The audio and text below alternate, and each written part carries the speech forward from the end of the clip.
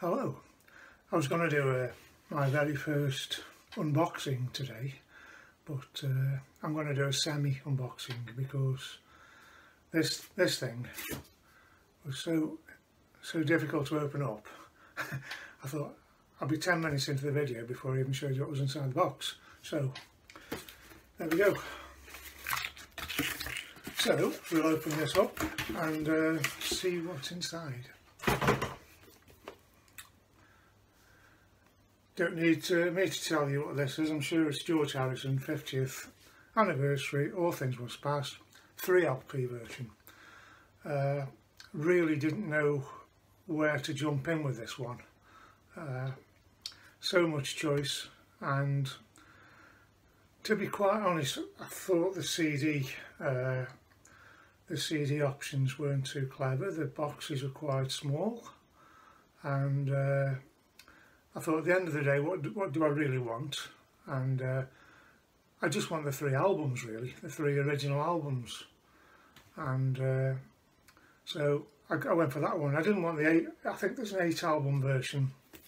Uh, so you got the normal three album plus, I don't know, I know it's eight albums, I've got to remember. But there's so there's a few albums of outtakes. That really didn't appeal to me too much, even though it's fantastic to hear outtakes and uh, early early takes, early early uh, versions. But my experiences over the years don't tend to listen to things like that. I remember back in the 70s, 80s, I used to buy, hunt down Beatles bootlegs. First listen, wow, this is great, never heard this Beatles song before. And then didn't really play it after that one. It was very rarely played the bootlegs but I still I still went out and collected as many as I possibly could. I've still got quite a few. But, so I was using that logic with uh, with the outtakes. Well, I'm not gonna I'm not gonna be playing these too much. I know I'll be playing this one. So that's what I've decided to do. and also the price of this one I thought wasn't too bad compared with the others. I pre-ordered this one about two weeks ago and I think on Amazon it was £65 and then it came yesterday and uh, I also got an email in the morning to say there was a price drop. So I ended up paying 56 56 pounds for this. So I got another eight pounds off really off the pre-order price. So I felt as though that sort of price 50 to 60 pound for the three album set wasn't too bad. It was more or less right price. Maybe it could have it could have been 50. I don't know, but I'm happy with 55 anyway, 56. So uh, so there we go. But what I also decided to, I mean, I was pouring over the website, georgeharrison.com, Amazon. I thought, what, what am I going to buy? I really didn't want to. I didn't really want to know at first, or I didn't.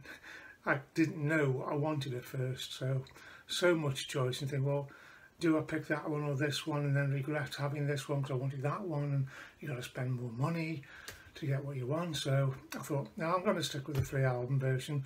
And then I'm going to just download the rest of the tracks you know the uh, the out track the outtakes. I'm just going to download a sample of those maybe not all of them maybe maybe all of them maybe not. I'll just go through and see which uh, appeals to me the most and then make a little CD up on my own and there you go. Uh, that's all I need to do for myself. You know, I mean, everybody's got their own opinions and I respect all those opinions and whenever you want to jump in, you want to jump in with £850 with the Uber box, that's fine. I even consider that one, to be, to be fair. But when you think about it, that's just, it's, it's too much money, you know. I, I've got so much, so much to do with, I can do so much of that sort of money. It's, no, it's not really worth it.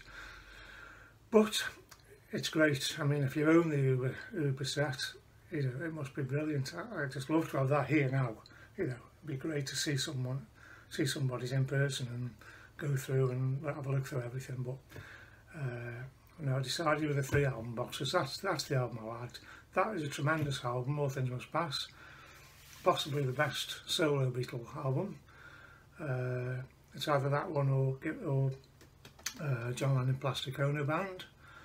So, depending on what day of the week it is, I sometimes pick John's, sometimes pick George's. Now, I did buy uh, the Plastic Ono Band CD edition. Uh, paid about £80 for that, wasn't too bad. Uh, got, the, got a hardback book and uh, plenty of CDs, I felt that was worth the money. So uh, I think they've slipped up a bit with this one. I think the product's really good, or the music's really good, or what you know what they're offering as music, but the packaging really wants uh, should have been thought a bit more deeply. Maybe maybe they should have talked to fans, you know, because people like Dhani and Olivia, maybe they're too disconnected from the product. I don't know, or too connected. I don't know, but talk to the fans. They'll tell you exactly what they want. They may have done that. I don't know, but uh, certainly we wanted the the CD box uh, to be bigger at least. You know, it's it was, you know just a little bit bigger than CD, so it was quite expensive, you know.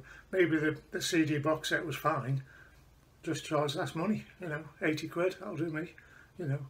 But uh, like I say, I'm going with that one, and then I'm also going to download uh, the outtakes. I've had a, I've had a listen through on Spotify, I've listened to the main album, it sounds great, sounds really, really good. I haven't listened to every single track all the way through, I had a good a good a good listen to uh, at least half of the each individual tracks. And it does sound pretty good you know.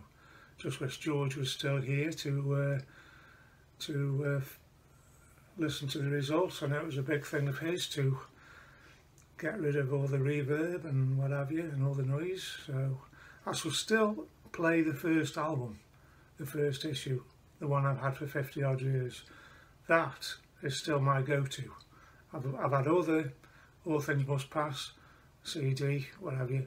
but I will always go to the very first original LP version. That's the go-to. Same with the Beatles, same with anybody. Abbey Road, UK 1969, go-to. Same with the White Album, 1968, Apple Records UK, that's the one. As, as much as I enjoy listening to uh, remastered copies, the original ones for me are the best. What's more, every single note, every single noise on each song is in here. My brain is programmed to detect the slightest sound on any of those albums. So you get a remaster and then that sound doesn't pop up. Oh, don't like that. but it's still interesting. It's still it's another version. So uh, I'm wandering off the track now, I'm wandering off the subject. Uh, so probably this will be a good time to uh, say bye-bye and uh, I hope whatever George Harrison All Things Must Pass you may get, you're quite happy with it and uh, let me know which one you bought. Okay, and bye for now. Cheers.